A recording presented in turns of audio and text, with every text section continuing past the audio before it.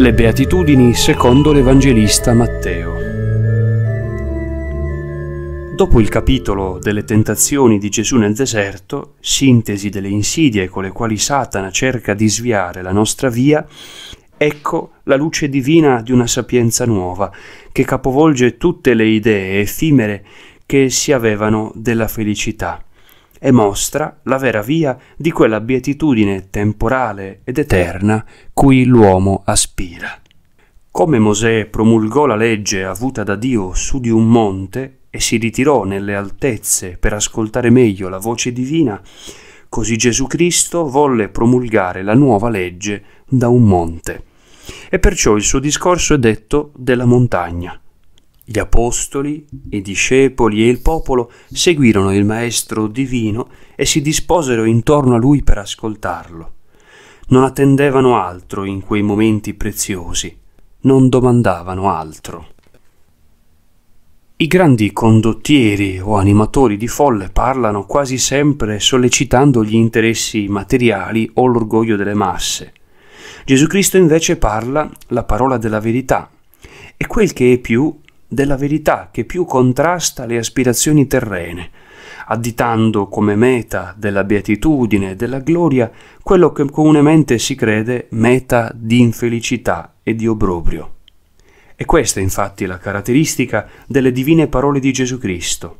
Esse, nella loro dura espressione, non sono in armonia con quello che la natura umana, fragile e presuntuosa nel medesimo tempo, crede un bene.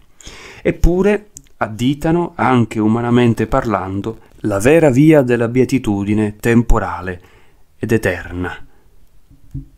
Approfondite alla luce di Dio sono un programma della conquista eterna e approfondite anche alla luce della ragione sono una filosofia altissima, per così dire una rivelazione delle vere condizioni alle quali l'uomo può conquistare la libertà interiore e la pace, dominando tutti gli ostacoli che vi si frappongono.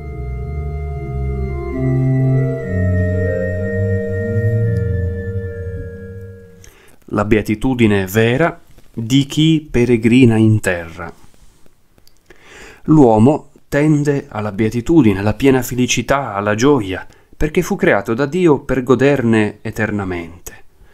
L'essenza medesima del fine per cui viviamo è questa – poiché il Signore ci ha creati per la sua gloria e per renderci sua voce di gloria ci riempie della sua grazia. Nel compimento poi della sua volontà che, sommo bene, ci comunica la sua felicità. La beatitudine quindi sta tutta in Dio ed è da Lui solo che la si può attingere. Sta nella conoscenza delle sue perfezioni e nel compimento della sua volontà. La beatitudine è un premio e come tale suppone la prova.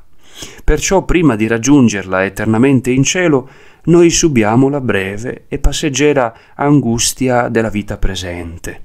Questa angustia tende ad addentrarci alla ricerca di Dio, alla sua conoscenza, al suo apprezzamento e al compimento della sua volontà.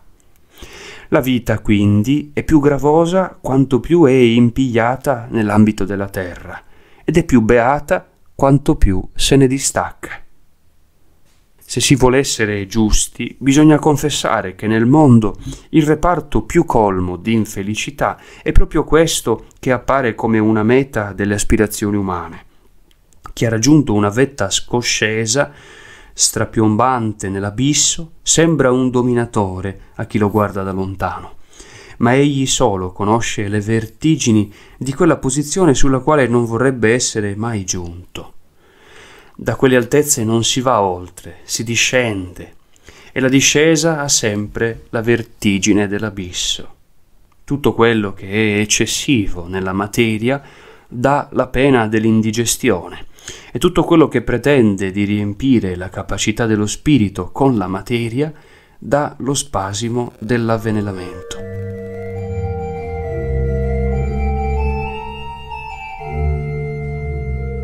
Gesù Cristo, vedendo la moltitudine che lo seguiva e scrutando da Dio tutti quei cuori più o meno colmi di amarezze, salì su di un monte per cominciare a portarli in un'atmosfera di maggior pace, per dar loro un primo saggio di quella beatitudine che voleva proclamare.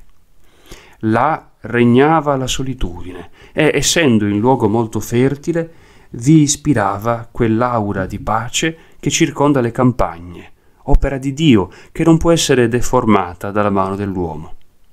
Si fermò e si pose a sedere, sia per stare più paternamente in mezzo ai suoi figli, sia per invitarli a sedere anch'essi sui sagginali naturali o sull'erba. Volge lo sguardo su quella moltitudine di anime semplici, la paragonò alle folle orgogliose del mondo, vide l'enorme differenza che v'era fra la vita semplice e quella complicata, vide la bellezza di una vita ancora più semplice, libera dagli impacci superflui della vita presente e tutta tesa verso le grandezze della vita eterna.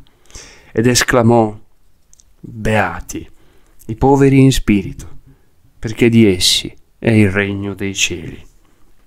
Il suo regno non aveva a che fare con le grandezze politiche, non si fondava sulle ricchezze o sulla gloria terrena, ma sulla rinuncia ai desideri fugaci della vita e sull'aspirazione ai beni eterni.